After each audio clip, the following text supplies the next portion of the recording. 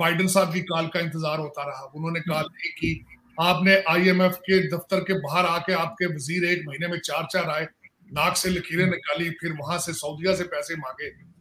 सो बलूचिस्तान से दहशत गर्दी के वाकयात में इजाफा हुआ है। चीन समझता है कि ये समझना कि आईएमएफ चले गए तो चीन नाराज़ हो जाएगा। आईएमएफ में जाना हमारी ज़रूरत है। इसलिए इन्होंने सर, सर। पाकिस्तान के एटमी सलाहियत को खतरे में डाला है।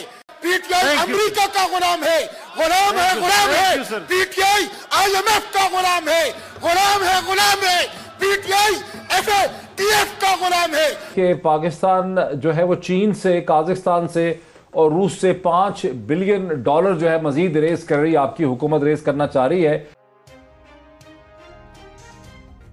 हेलो फ्रेंड्स अपना हिंदुस्तान न्यूज़ में आपका स्वागत है। पाकिस्तानी सरकार जिस हिसाब से कर्जे ले रही है चाहे वो आईएमएफ से हो या दुनिया के किसी भी मुल्क से। उसको देखने के बाद पाकिस्तानी पार्लियामेंट में बवाल हो गया। वो कह रहे हैं, इन्होंने हमारे न्यूक्लियर एसेट्स खतरे में डाल दिए हैं और हमें आईएमएफ का गुलाम बना दिया है। स्टेट बैंक ऑफ़ पाकिस्तान तो हमने बेच दिया आईएमएफ को। अब रशिया, किर्गिस्तान और दूसरी जगह से फाइव बिलियन डॉलर लेने का भी ये लोग प्लान बना रहे हैं। हम ले तो रहे हैं पैसा, मगर हम कर्जा उतारेंगे कहाँ से? चारों तरफ़ से हमें घेर लिया गया है और कुछ समझ में नहीं आ रहा है इमरान खान की सरकार करना क्या चाहती है। इसको देखने के बाद शेख रशीद का भी बयान आया है। वो कह रहे हैं, हम किसी की परवाह नहीं करेंगे, चाहे अमेरिका हो या चीन हो। हम आईएमएफ से कर्जा लेंगे अगर हमें ज़रूरत पड़ी तो। इसकी वजह से पूरे पाकिस्तानी मीडिया और पाकिस्तान की पार्लियामेंट में भयंकर बवाल हो रहा है और इसे देखने के बाद पूरी दुनिया पाकिस्तान पे हंस भी रही है।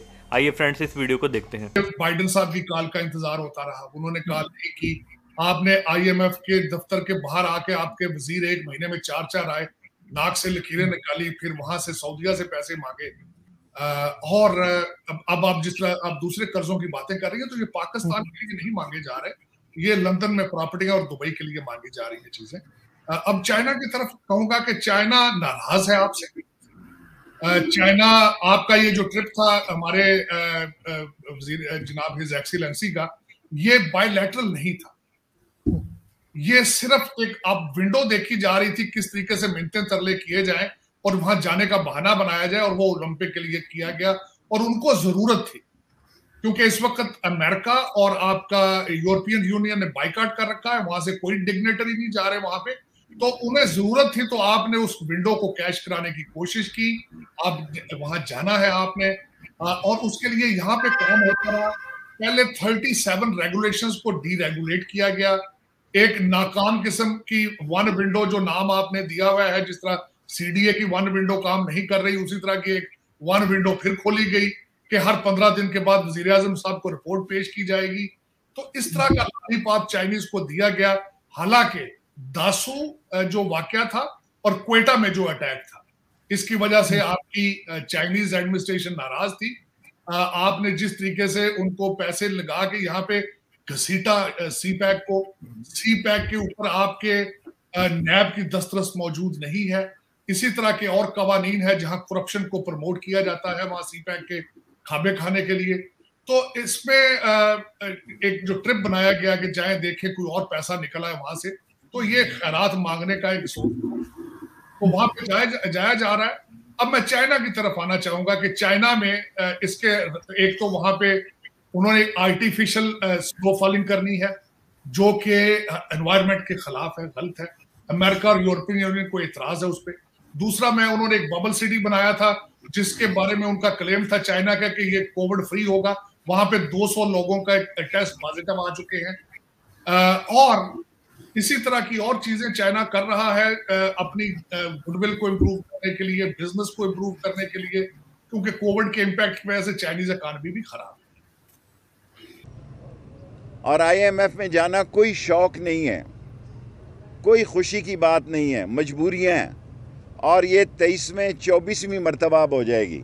तेईस मरतबा हम जा चुके हैं आईएमएफ में, क्योंकि मीशत को खड़ा करने के लिए और दूसरे इदारों से मदद लेने के लिए आईएमएफ में जाना होता है। बाकी दहशत गर्दी में इजाफा हुआ है और यूबीएन और बीआरए ने मिलकर बीएनए बनाई है। सो बलूचिस्तान से दहशत गर्दी के वाक़ात में इजाफा हुआ है। हमारे दस जवानों की, जानों की कुर्बानियाँ भी एक तारीख़ है हमारी फ़ौज की और सिविल आर्म फोर्सेस की, कि सत्तर अस्सी हज़ार सिविलियन और आर्म फोर्सेस के लोगों ने कुर्बानी दे के इस मुल्क से दहशत गर्दी ख़त्म की है। चीन हमारा आजमूदा और हमालिया से बुलंद दोस्त है और हर मौसम का दोस्त है। अमेरिका एक ताकत है, सुपर पावर है हमें उससे भी तल्लकात रखने। के चीन को कोई एतराज़ नहीं हमारे आईएमएफ के जाने पे। चीन समझता है कि ये समझना कि आईएमएफ चले गए तो चीन नाराज़ हो जाएगा। आईएमएफ में जाना हमारी ज़रूरत है। पीटीआई अमेरिका का गुलाम है। गुलाम है गुलाम है। पीटीआई आईएमएफ का गुलाम है। गुलाम है गुलाम है। पीटीआई एफएटीएफ का गुलाम है। हम इसको मुस्तरद करते हैं और पीटीआई की मजम्मत करते हैं। इस बाबा जी के बैंक को इन्होंने फिरोख कर सर। ये कायद का बैंक था। इन्होंने इस एक्ट के ज़रिए से कायद के बैंक को फिरोख कर दिया। इन्होंने एक शर्मनाक माहिदा किया था और ये जो ड्राफ्ट बिल था ये इनका नहीं था। ये आईएमएफ ने इनको दिया था। आप आप लोगों ने आप लोगों ने कौन से गद्दारी की है? आप लोगों ने गद्दारी की है? आप लोगों ने पाकिस्तान का सौदा किया है। आप लोगों ने पाकिस्तान थैंक यू सर कर दिया है। मिस्टर चेयरमैन ये मेरा इस्तेकाक मंजूर हुआ है। मुझे बहुत अफसोस है मुझे बहुत अफसोस है कि इन लोगों ने पीटीआई ने आईएमएफ के लिए इस पाकिस्तान और पार्लियामेंट की लेजिस्लेटिव अथॉरिटी को कंप्रोमाइज किया thank you sir mister chairman mister chairman इन्होंने इन्होंने इस हाउस की रूल्स और रेगुलेशंस को आईएमएफ के लिए पाँव तले रून दिया है। इन्होंने बदतरीन गुलामी का मुजाहरा किया। ये सात अमेंडमेंट्स ये जो लेजिस्लेशन हुई है उस दिन गैर कानूनी है। ये गैर कानूनी लेजिस्लेशन हुई है। मिस्टर चेयरमैन इस इस अमेंडमेंट के ज़रिए से इस अमेंडमेंट के ज़रिए से रखें सर मैं आखिरी बात कर रहा हूँ। मैं आखिरी बात कर रहा हूँ। आखिरी बात कर रहा हूँ मिस्टर चेयरमैन ले आखिरी बात आखिरी बात करने का मौका दे। आपने मेरे अमेंडमेंट्स पेश नहीं होने दी। आप मुझे आखिरी बात करने का मौका दे। मिस्टर चेयरमैन ये जो स्टेट बैंक का बिल पास किया है इन्होंने इन्होंने दरअसल स्टेट बैंक के बिल पास करने से स्टेट बैंक के गवर्नर को वायसराय बना दिया स्टेट बैंक को और आईएमएफ को ईस्ट इंडिया कंपनी बना दिया सुल्तानत उस्मानिया की तरह। सुल्तानत उस्मानिया का सेंट्रल बैंक पर इख्तियार खत्म हो गया उसके बाद सुल्तानत उस्मानिया खत्म हो गया। इसलिए इन्होंने सर, सर। पाकिस्तान के एटमी सलाहियत को खतरे में डाला है। पाकिस्तान की आज़ादी को थैंक यू सर आखिरी बात मिस्टर चेयरमैन आखिरी बात आखिरी बात। इस बिल को पास करके इस बिल को पास करके इस बिल को पास करके दरअसल पीटीआई ने कहा है कि गुलाम है गुलाम है। पीटीआई अमेरिका का गुलाम है। गुलाम है गुलाम है। पीटीआई आईएमएफ का गुलाम है। गुलाम है गुलाम है। पीटीआई एफएटीएफ का गुलाम है। हम इसको मुस्तरद करते हैं और पीटीआई की मजम्मत करते हैं। Thank you ji. जनाब अहम इशू है सरन वलीद साहब। अब मैं मसल से अखबारों में ये कहा जा रहा है कि पाकिस्तान जो है वो चीन से काजिस्तान से और रूस से पाँच बिलियन डॉलर जो है मजीद रेस कर रही, आपकी हुकूमत रेस करना चाह रही है मुख्तल वजूहत से। वहीं पर यह भी लिखा हुआ है कि इस वक्त जो बैलेंस ऑफ़ पेमेंट प्रॉब्लम है, उसका मतलब यह है कि सितंबर 2022 में जब ये फंड की आईएमएफ की एक्सटेंडेड फंड फैसिलिटी प्रोग्राम खत्म होगा तो पाकिस्तान को एक बार फिर आईएमएफ के एक नए प्रोग्राम में जाने की ज़रूरत पड़ सकती है। इस पर आपका क्या रद्द अमल? कर्जे ले चुके हैं तो पाकिस्तान और ऑलरेडी 35.1 बिलियन का फॉरेन लोन इस हुकूमत ली हुकूमत ले चुकी है।